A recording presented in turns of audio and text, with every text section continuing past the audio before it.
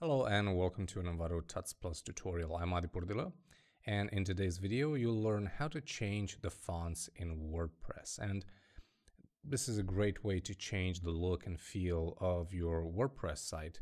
Uh, typography really makes a big difference. So I'm going to show you a couple different ways you can do this. Let's begin. So right here I have a demo WordPress site set up on my uh, local machine. Uh, it's currently using one of the default themes in WordPress, which is 2020. And let's say that you want to change the typeface or the typefaces that you're using.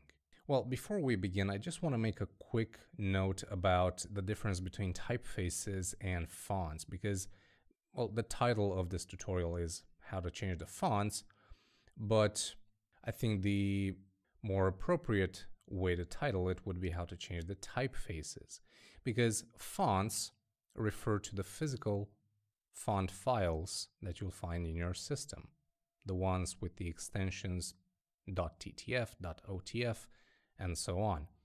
Typefaces are the actual font families that you see. For example, Helvetica, right? That's a typeface. Arial is a typeface. Arial.ttf, that is a font, right? So just um, be aware of this distinction moving forward. Now, as I was saying, how do you change the typeface on your WordPress site?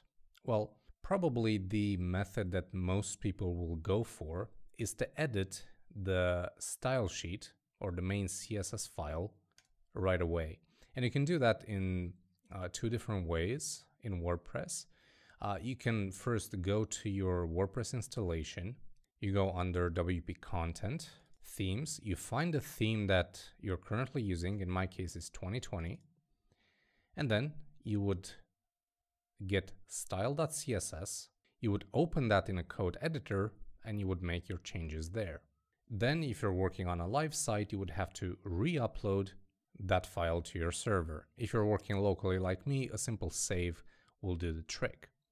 The second way you can get to this uh, style.css file, excuse me if you didn't see it right there, I think it was uh, slightly out of frame, so this is the file that I'm talking about. So the other way is to go into your WordPress backend theme editor, and here you can select from the right uh, sidebar style sheet or style.css. So you can open it here directly. So by doing this, you have access to the main style sheet or the main CSS file of your theme. Remember, this is directly tied to your theme. So any change that you make to this file will only be available, in my case, for the 2020 theme. If you're gonna switch themes, the changes that you make here will not be applied again. Now, you must decide what elements or on what elements you want to change the typeface. Do you want to change it on the headings or maybe on the paragraphs or maybe on the buttons? Let's say you want to change the typeface on the headings. Well, you would go into your CSS file. You would search for the heading that you want to affect. For example, maybe it's an H1 or an H2 or whatever it is. And here we can find it on line 4016. But again, this is on my style.css.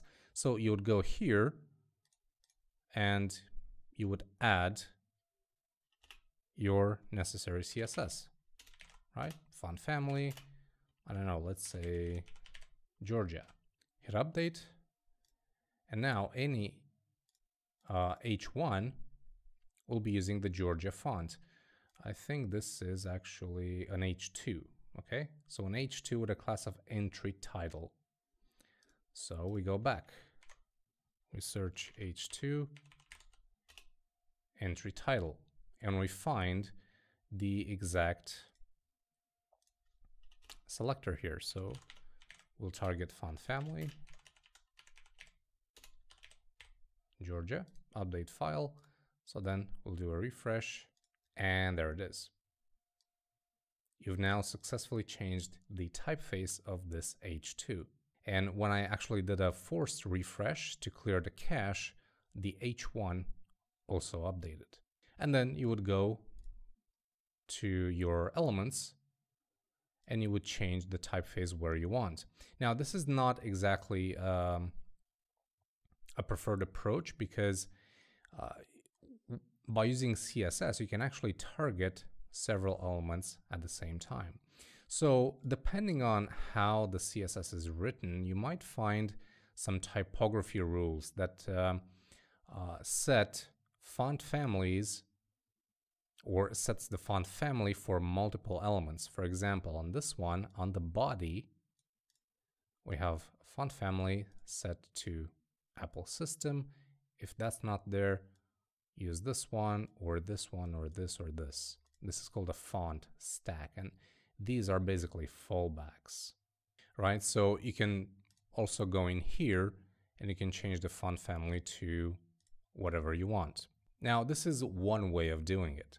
Another way is to use the customizer. So in the WordPress customizer, you will go to additional CSS and you can write your additional CSS here. For example, H2 with a class of, what was it, entry title, font family. Let's set this to Arial, for example, right? So this is another way you're not modifying any of the original CSS code. Instead, you're adding your own by using the uh, WordPress customizer additional CSS. And then you can just hit publish and uh, that change will be reflected on your front end as well. As you can see, it's pretty simple to change the typefaces in uh, WordPress. And everything worked when I was making these uh, these changes because all the fonts that I used were already installed on my system. But just because um, a font is installed on my system, it doesn't mean it's installed on your system or your visitors' systems, right? So uh, to make sure everything runs smoothly, you must load the fonts that you want to use first and then use them. So let me show you how you can do that in WordPress. Uh, let's uh, open up Google Fonts and let's open up, for example, tomorrow. We're going to click this plus sign. To use this font, Google gives you several different options. It gives you a standard way of using this link. It also gives you this import. Now, if you're going to use this, it's actually very simple. You just copy it from here and let's open up the uh, CSS file again.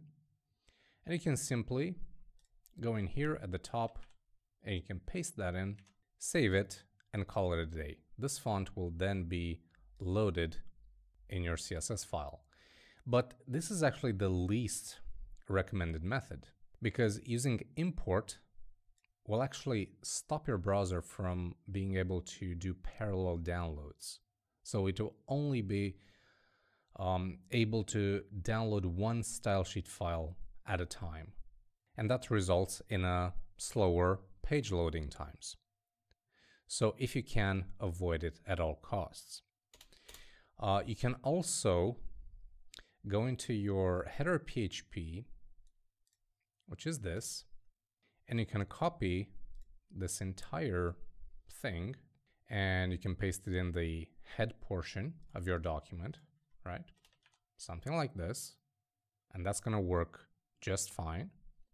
And that's also going to work. But again, we're using import, so you should stay away from that. Or you can go into Google Fonts, standard, and you can get this link. And you can paste that in here.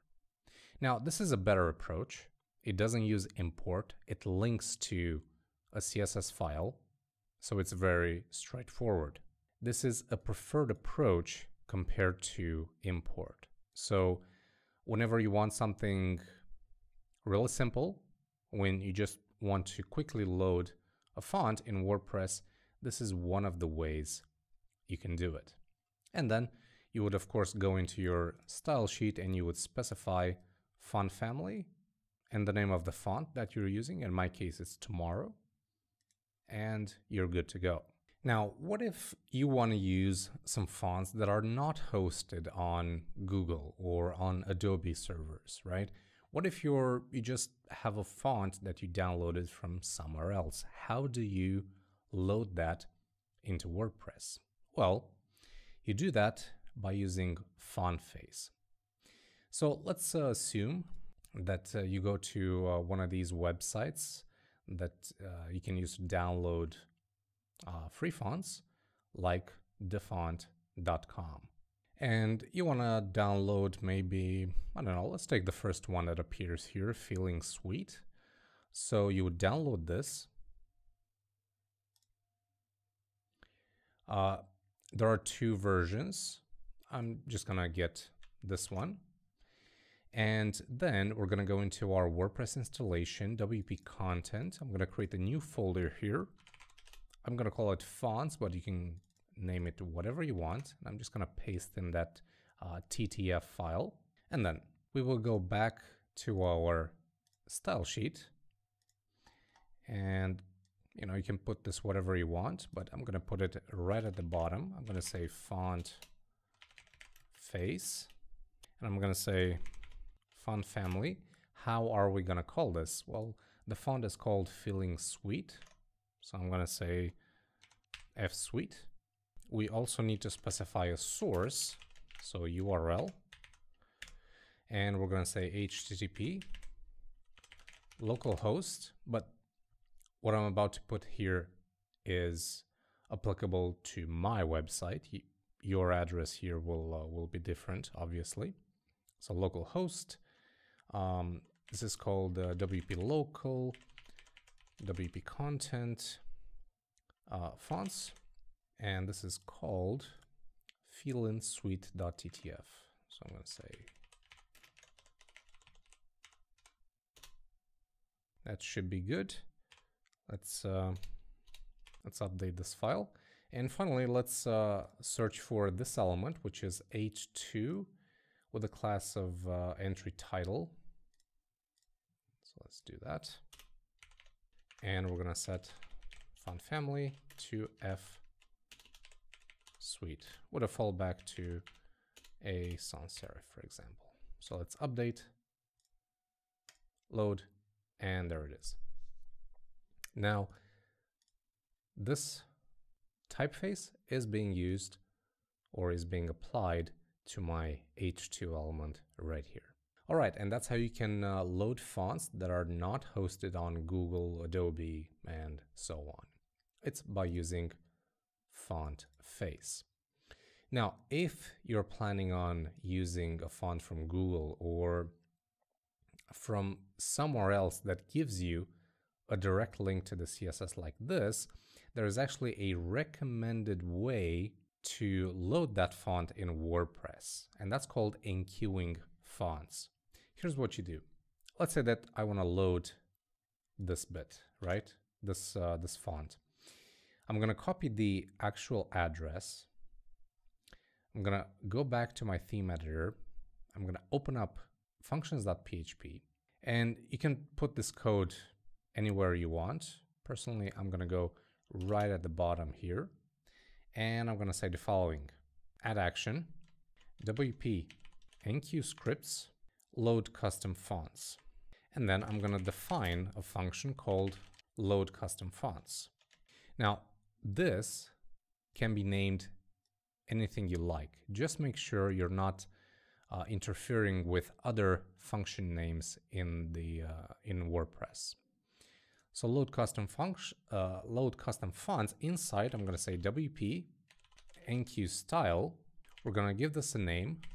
I'm going to say my custom fonts, and then I'm just going to paste in that address, and that's it. You hit update file you do a refresh here, and now the typeface tomorrow is available for use. For example, I can go into my style.css right at the bottom and I can change this for tomorrow. Let's update, refresh, and now this typeface is being used here. And if we're looking at my um, my typefaces that are installed on my system, you'll see that I do not have uh, Tomorrow installed. And that's the recommended way to add fonts in WordPress is by enqueuing them. So now you know how to properly load fonts in WordPress. And what I described so far is not very complicated, but it does require a bit of coding knowledge to make it work, right? Well, what if you're not very tech savvy and you just want to quickly change the fonts in WordPress? Well, because this is WordPress we're talking about, there are, of course, some plugins that will help us do that. So let me show you one of the most popular plugins for this and uh, see how that works.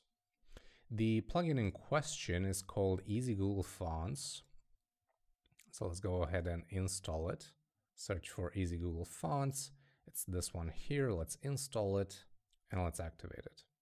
So this works very, very simple. You go to Appearance Customize, and this opens up the uh, WordPress Customizer. And all of a sudden, you have this new um, tab here called Typography. You open that up, and you will find controls for changing the typeface on the paragraphs in each heading. All right, so let's open up uh, heading 2 because this is what we've been working with so far. We can see that we can change now the font family from here. All right, and we can see a couple of uh, uh, fonts listed here, but we also have access to Google Fonts. So I can choose any of these and I can actually see a, uh, a preview in real time. Look at the, uh, the archives text here, right? And once I found uh, one that I like, I can simply hit publish and I can then see my changes reflected in the, uh, in the front end as well. And apart from changing the font family, you also have the option to change the font weight or style where is applicable because not all typefaces have different weights and styles. You can change the theme decoration, text transform, uh, and then you can also change the appearance like the font color and background color. So if I want maybe a blue font with, I don't know, a, a dark background, I can do that no problem. I can also change the positioning with this plugin, affect the margin, the padding, and so on. This really um, is beyond the point of this tutorial. What we're interested in is the typeface uh, properties here like font family and so on. So by using this, uh, this plugin, again, this is called Easy Google Fonts. It's a free plugin. You have access to pretty much all the elements in your page and you can quickly change them there. And that's it, people. That's how you can change the fonts in WordPress by using a plugin, uh, which you just saw, or some good old-fashioned uh, coding. I hope you found this tutorial useful. Thank you very much for watching. I'm Adi Purdila, and until next time, take care.